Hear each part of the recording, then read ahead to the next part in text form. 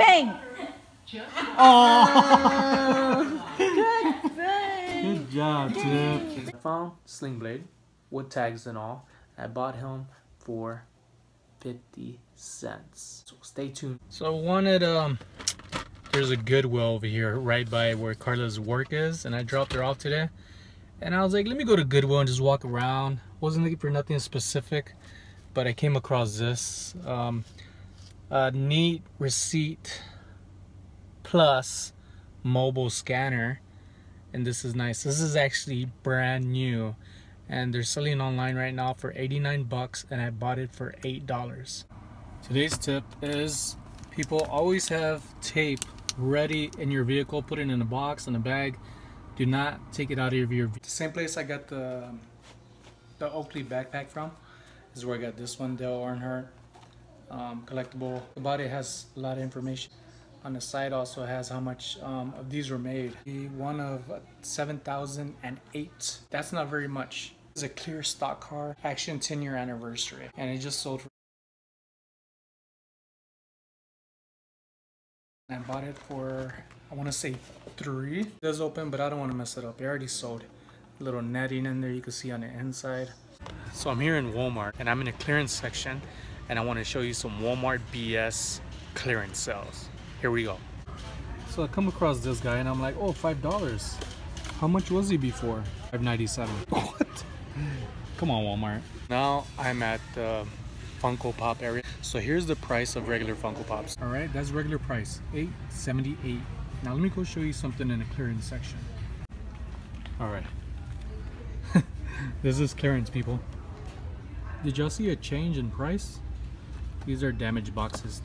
Come on, Walmart. Bought this yesterday for $5.99. It's a camel jacket.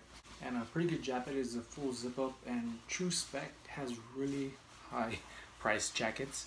This is kind of a basic jacket, but still it's a quality brand for hunters and people, also military. I know people back in Charlotte would like this, or the hunters, even in the summer they'll like just rock it. $5.99 I think I bought it for. It was 30% off, so whatever that is. It just sold for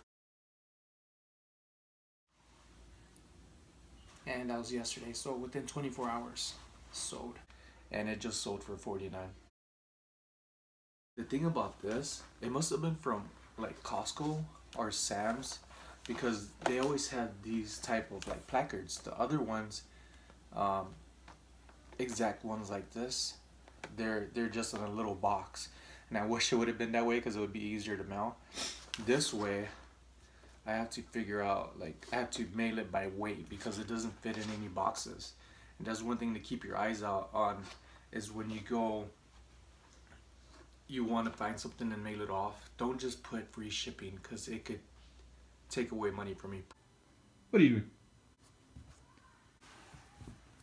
Oh, good boy. So this guy, Sling Blade, just sold for 110 bucks for 110 bucks for 110 bucks.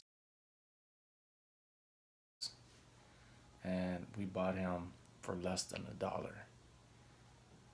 So he sold in less than nine hours of being posted.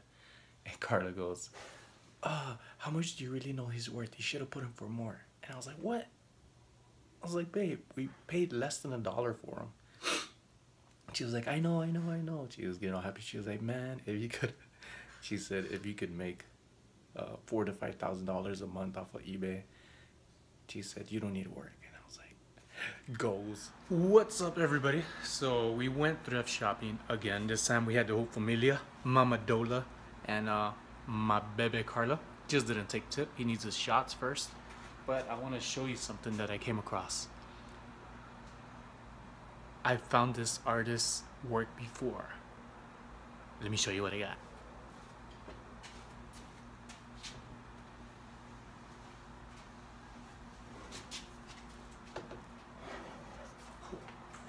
Can you guess what it is?